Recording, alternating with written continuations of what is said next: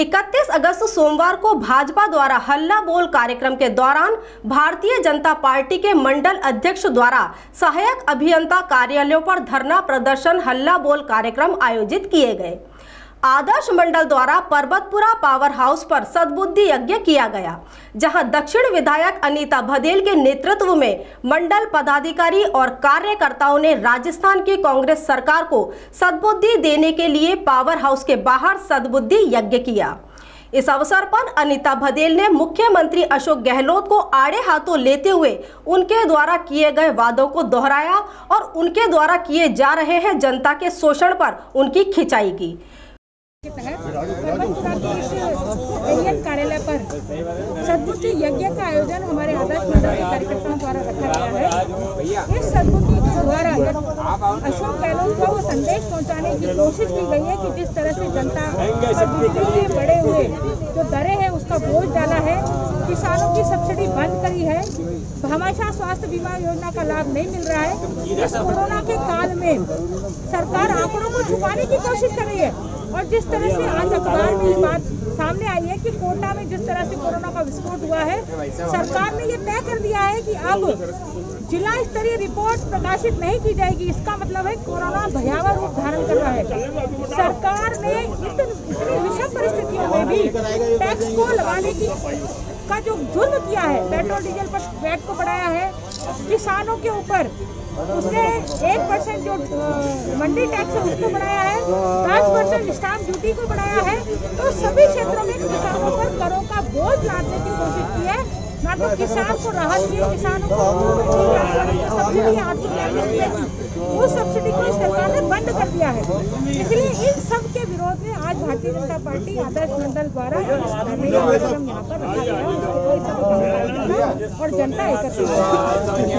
सोमवार दोपहर 12 बजे आर्य मंडल द्वारा हजारीबाग पावर हाउस पर शव यात्रा निकालकर सरकार के खिलाफ जोरदार प्रदर्शन किया गया। इसके पश्चात झलकारी बाई मंडल द्वारा दोपहर तीन बजे मदार एक्सएन कार्यालय पर जनता द्वारा मुख्यमंत्री को बिजली की दरें कम करने के लिए पोस्ट कार्ड लिखे गए।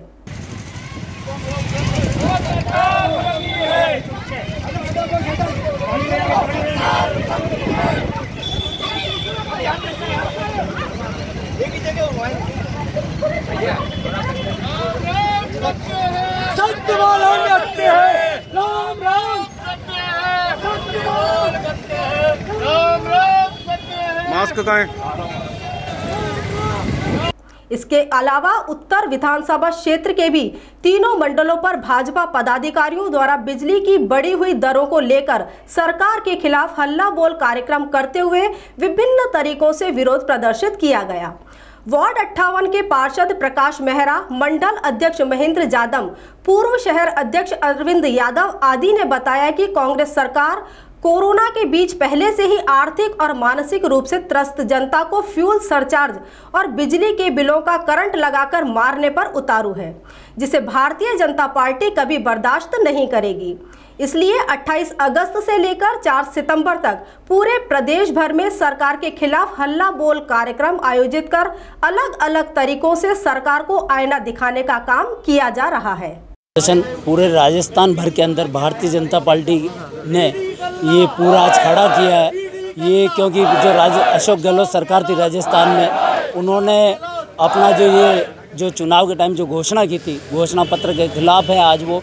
जो जनता को उन्होंने उस टाइम जो वादा किया था कि भाई हम बिजली की दरें माफ़ करेंगे और जो ऊपर आता है यूनिट उस पर हम कम करेंगे। तो आज अशोक गहलोत सरकार ने अपनी वादा खिलाफी की है। उसके खिलाफ में पूरे राजस्थान के अंदर ये भारतीय जनता पार्टी हर एक मंडल स्तर पर अपना ज्ञापन का कार्यक्रम है और आगे भी इस तरह के गहलोत सरकार के खिलाफ में हम कार्यक्रम करने जा रहे हैं। तो आज जो अशोक गहलोत सरकार ने जो वादा खिलाफी की है, जनता को जहाँ इन्होंने बिजली के माफ़ करने के लिए बोला, उसके जगह इन्होंने फ्यूल चार्ज बढ़ा के जो आम जन का खून पीने का काम करा है। आज बिजली के बिलों के अंदर बिल नहीं, वो करंट लगता आम जन को। उस आम जन की पीड़ा को देखते हुए भारतीय जनता पार्टी के समस्त कार्यकर्ता यहाँ इकट्ठे हुए हैं और आज सरकार के खिलाफ में हम ज्ञापन देने जा रहे हैं जो बिजली के बिलों के अंदर बढ़ोतरी की है। आज प्रदेश के आदेश पर मंडल अध्यक्ष, हमारे बजरंग मंडल के मंडल अध्यक्ष है महेंद्र जी यादव। उनके नेतृत्व में हम सभी पार्षदगण, सभी हमारे वार्डवासी और जो इस मंडल में सब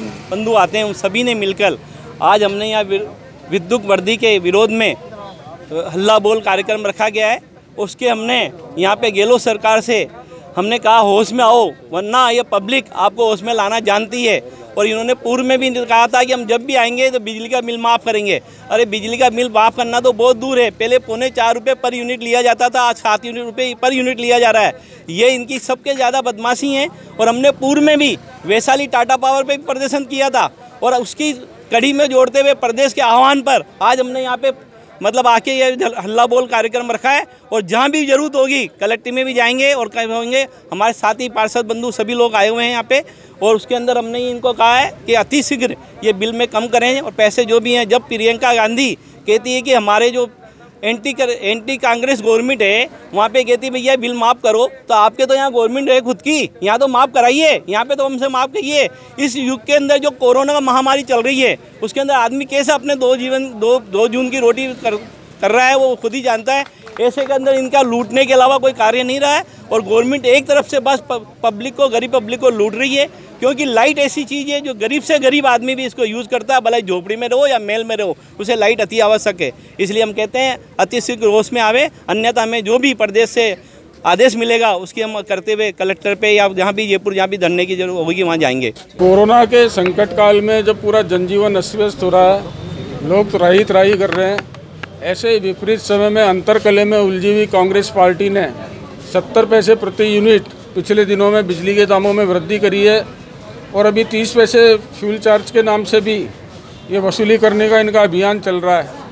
हमारा कहना है कि इससे पूरी जनता के ऊपर विपरीत प्रभाव पड़ रहा है। जनता वैसे ही बहुत परेशानी से जूझ रही है और इसलिए आज हल्ला बोल कार्यक्रम के तहत अजमेर शहर जिला के सभी छः मंडलों के ऊपर हमने जो विद्युत केंद्र हैं उनके ऊपर प्रदर्शन करके संबंधित वरिष्ठ अधिकारियों को ज्ञापन दिए हैं और हमने मांग की है कि जन इस चूँकि कोरोना काल के अंदर जनता बहुत पीड़ित हुई है। उनके आमदनी के साधन बंद हुए हैं। इसलिए चार महीने का बिजली का बिल माफ़ किया जाए। किसानों की जो सब्सिडी है, उस सब्सिडी को पुनः चालू की जाए, उनकी वीसीआर भरना बंद किया जाए। और अगर सरकार भारतीय जनता पार्टी की इस ज्ञापन पर विचार नहीं करती है तो आने वाले समय में भारतीय जनता पार्टी और उग्र आंदोलन करेगी और जनता को राहत पहुँचाने के लिए निरंतर संघर्षरत रहेगी। राजस्थान सरकार क्या दिल्ली का एजेंडा नहीं अपना सकती? दिल्ली में जो बिजली के दिल्ली बिल के अंदर- छह सालों में नहीं बढ़े। ये राजस्थान सरकार कहीं विचार करने लायक नहीं है। आपसी अंतर क्लेम में आपसी झगड़ों के अंदर। ये इस तरह इस तरह उलझी हुई है कि आम जनता के हितों की तरफ़ इनका ध्यान नहीं है।